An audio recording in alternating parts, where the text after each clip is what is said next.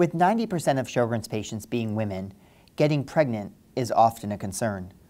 Although many Sjogren's patients can conceive and have healthy babies, for some, pregnancy can be a challenge. Here are some of what you should consider about pregnancy if you have Sjogren's. When we were newly married, probably a year into marriage, I was speaking with the rheumatologist saying that children in our future was our hope and would I have any issue getting pregnant. So he mentioned that um, I needed to be screened for the Ro antibody to see if I was positive for that. For Sjogren's patients, it is important to find an OBGYN that understands Sjogren's and is willing to work with your rheumatologist. The main concern is just knowing what their antibody type is. Um, if, the, if they're either having trouble getting pregnant or they become pregnant. And I still see have seen people um, at, who were being cared for or had seen specialists at major universities, and they were pregnant. And yeah, they had dry eyes, dry mouth, but they didn't order an SSA and SSB. Yeah. So they went into their pregnancy high risk, but without being connected to the right physicians. For some patients, getting pregnant can be a challenge.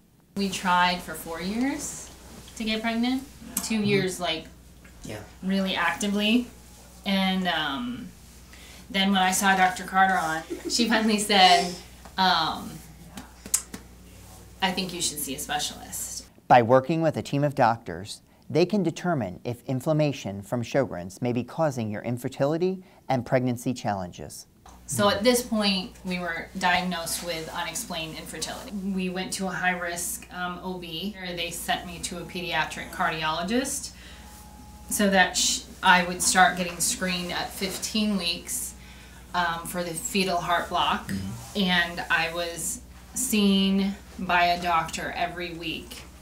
Um, either the perinatologist or the pediatric cardiologist from 15 weeks up until 26 weeks Fetal heart block is probably the most serious complication of pregnancy in Sjogren's.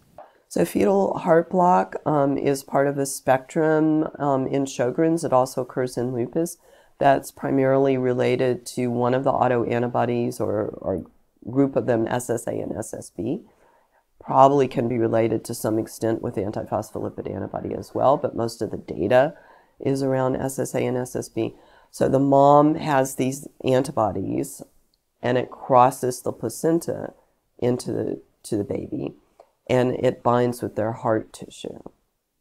And at what point is it just the initial binding or has it been going on long enough that it's causing scarring?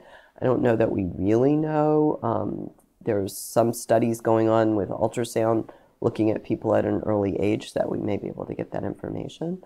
Um, but when it causes, when there is um, damage of some sort to the electrical wiring system in the heart that causes heart block.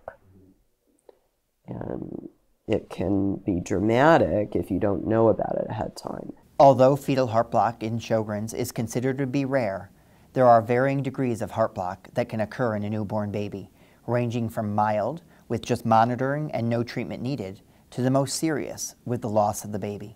Um, I would say definitely talk to your rheumatologist prior to planning to have children to first get tested for the Ro antibody and see if you're positive because if you're negative then you might not have to be monitored as closely as I was.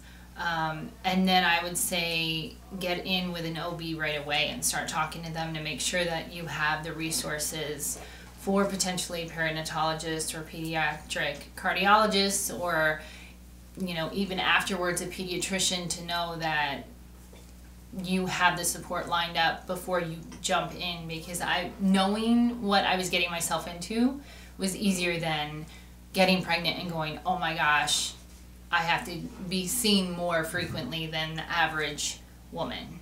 Would you do it all again? Absolutely, in a heartbeat.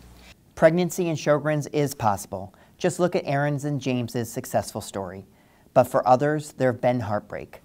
Knowing your autoantibodies, working with a team of experienced OBGYNs, and your rheumatologist is your best way of being ahead of any complication that could arise.